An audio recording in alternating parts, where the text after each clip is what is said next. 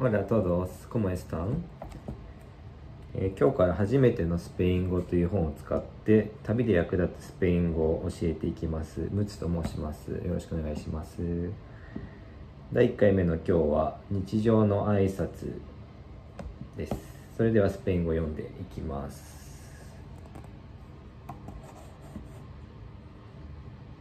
Hola, ¿cómo está usted? Estoy muy bien, gracias. ¿Y usted? Yo también, gracias. Hace buen tiempo, ¿no? Sí, hace muy buen tiempo. でこちらが日本語訳ですね。こんにちは。お元気ですか？おかげさまでありがとう。あなたは？私も元気です。ありがとう。いいお天気ですね。ええ、とてもいいお天気ですね。という文章です。では、解説していきます。ちらの、まず、 Hola なんですけども、まあ、スペイン語で、まあ、こんにちはという、まあ、ハローみたいな意味ですね。で、これ、H は発音しません。昔は H を読んでたみたいなんですけども、まあ、だんだん読まなくなって、でまあ、弱く発音するようになって、まあ、最終的には読まなくなりました。で、2行目のコモエスタウステ英語だと How are you っていう意味ですね。コモが How。で、エスターが B 動詞の、で、エスタールというスペイン語の動詞なんですけど、英語だと B 動詞ですね。で、ウステがあなたという意味で、コモエスタウステで How are you。で、3行目の Estoy muy bien, gracias。これは英語だと I'm very good, thank you って意味ですね。で、Estoy がさっきのエスタと似てるんですけども、これは一人称の I am っていうことなので、この Estoy という形になります。で、muy が very と一緒ですね。で、bien が good。で、gracias が thank you という意味です。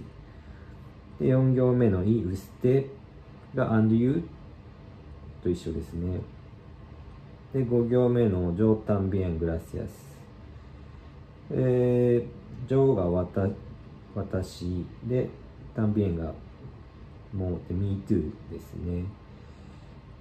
えー、グラシアスがサンキュー。で、次が Hace buen tiempo の、がまあ英語だと、It's good weather の、で、 hace が It's で、 buen が good、で、 tiempo が weather ですね。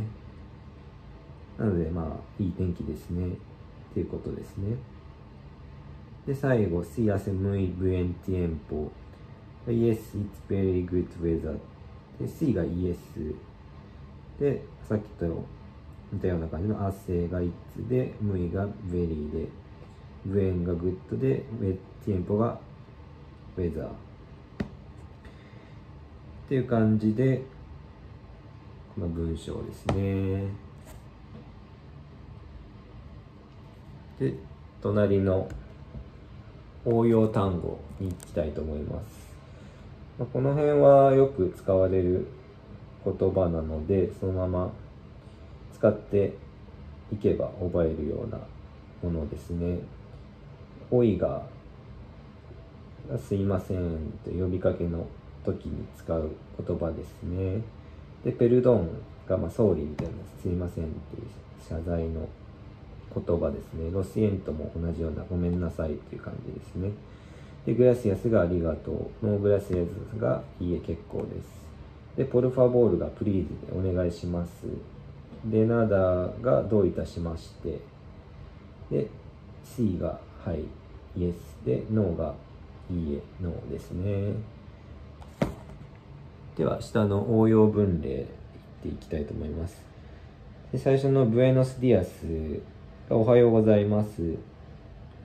で、 Buenas tardes がこんにちは。で、 Buenas noches がこんばんは。